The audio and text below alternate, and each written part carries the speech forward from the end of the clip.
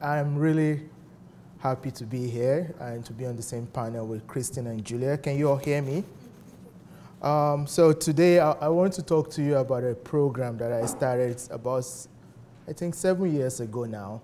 And the reason why I started this program was because of the fact that I'm really passionate about science communication and I wanted to figure out a way to do it better.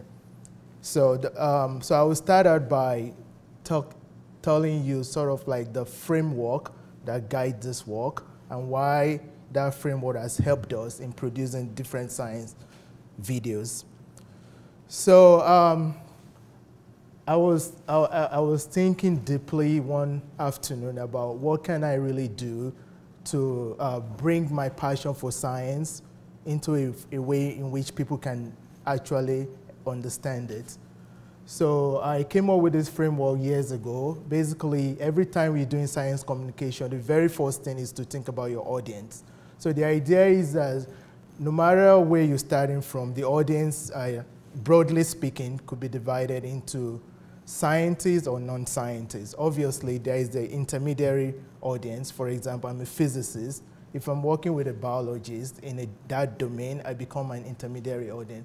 But what is important here is that um, the, the scientists are usually the minority of any population, whereas the non-scientists are the majority of every population. So it means that as, as, if we're trying to do science communication, we need the voices of those majority population that we're really trying to reach. And the approaches by which they solve problem is actually different. So the idea was that can we combine those two approaches together in a way that is really engaging to now produce very powerful um, products. So that was sort of like the framework. And then from that, you could either uh, develop a, uh, a, uh, an animation video or you could have a voiceover, you could just be an illustrator, it doesn't really matter.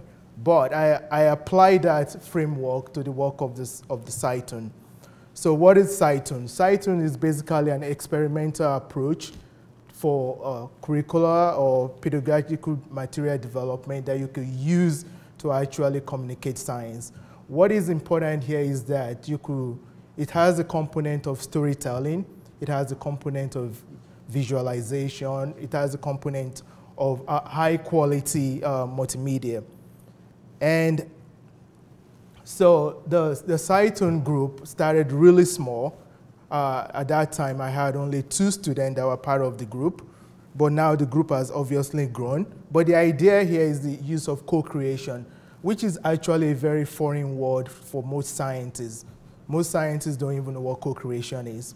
So the idea is that for every project, there are uh, both uh, STEM and non-STEM student and faculty working together to develop the product. So we all come together once a week to, to, to, to deliberate on whatever product we're trying to do. So this data is for is quite old, but what I would like to emphasize is that this shows the uh, major of the student that were working on that project during that time frame. That hasn't changed. So up to now, we have about, I have about 50% of the student in my group, they are non-science students because we really need them because the idea is to keep the science correct, but also to be able to communicate, the, use the language that is, uh, to be able to communicate the language in a way that the public can understand. So the non-science student actually helps us through this process. So that's the group as of last year. The group has really grown. As you could see, the group is pretty diverse. And um, there are some of them that have graduated. They've moved on to very important uh, science communication role across America. So what is the SciToon process? So the, so the first thing is that once we figure out a story that we would like to tell, then we have to begin to write the story itself. Now, for, for each aspect of the process, it's an iterative feedback, meaning every member of the team will have the opportunity to contribute to the development of the script. So we have the story development, then we have the storyboard. Once we agree on the story and we've developed the narrative for the story, sometimes it takes like five to seven iterative review to get the story correct. Then we move on to the actual uh, production of the, of, of the video. So, and even during the production process, we still go through the iterative review. We want to check for the color, the, the, um, the voiceover, all of it, we, we all work together in creating this in a co-creative space. So I'm just going to share with you some of the impact of the, of the SciToon uh, videos to date. Um, so obviously, the very first time one of the video was ranked number one on, on YouTube or Google, I was like, whoa, we're really up to something. But now we have a lot of videos that I, I, don't care wherever you are. Anytime I travel overseas or in America, everywhere I travel, I, I Google some of the title of the video. They are number one on Google. So for example, if you Google the word echolocation, it's the number one video. So, so, so that's part of the impact of the video because it means that people might not read my scientific article, but they will watch a video you know, you have like 100,000 views on some of these videos. So we also have survey, so meaning that some of the videos are used for outreach engagement, whereby we, we uh, if, we want, if we want to discuss a particular topic, we might show the video, pre and post, we, we, we do the evaluation through that. We do evaluate the students that have participated. Uh, as of right now, I've had over 80 students that have been part of the group since it started. So we do evaluation of the student. Um, we have feedback from viewers. This is really uh, interesting. Now, some of the videos that have tens of thousands of views, you have people watching the video actually talking to each other and say, no, you should go to, to, to, to 2 minutes, 0.5 seconds and see what they said. So it's, it's actually really engaging and you gather feedback from that.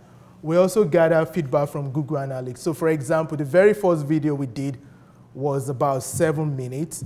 And based on the feedback, I realized that actually we shouldn't be doing videos for more than three to four minutes because people won't watch beyond that. Um, so we've been lucky to be listed on a lot of organization websites, both federal government website as well as private organization.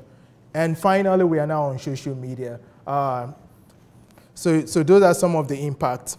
Um, so as I was telling you, these are examples of the videos. Those are the titles of the videos, and those are their rankings on Google search or YouTube search. So at this point, I would like to play one of the videos before I continue my presentation.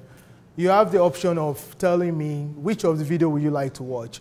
One is on self-assembly, uh, and the other one is on CRISPR-Cas9 I think we need to take a vote to make it legit, right? Yeah. so which one first? Which one? Uh, self, self-assembly is all about nanomaterial. Who wants to watch self-assembly? That would be my vote, but, but it, who wants to watch CRISPR-Cas9? Okay, CRISPR, okay, yeah. CRISPR it is. So it's interesting. The CRISPR video has over 11,000 views. It was published like four months ago, so, I mean, compared to the other video that has like a thousand views. So I guess this is a good uh, data point that, that we just had here. All right, All right so um, my conclusion, uh, so the SciToon model is a way to really engage broad audience. So you have, first of all, the students that are uh, uh, in the group producing the videos. Remember, they are non-STEM students as well as STEM students, so they learn a lot through the co-creation process. So that could be applied to any other population. So that's a very good approach. The iterative feedback also is extremely important because everybody's contribution matters. We take that into consideration. The other thing I forgot to mention is that, so we meet every week, the group meets every week. We meet in a, in a space called the Science Center at Brown, which is a neutral space. It's not owned by any department. So everybody feel empowered to share their idea. And finally, so the, the, the process itself is applicable. You could use it in, in academia, in non-academia field. Um, so that's, I think that's my presentation. I would like to acknowledge all these um, uh, offices, funding that have been part of the program in one form or the other over the years. And thank you.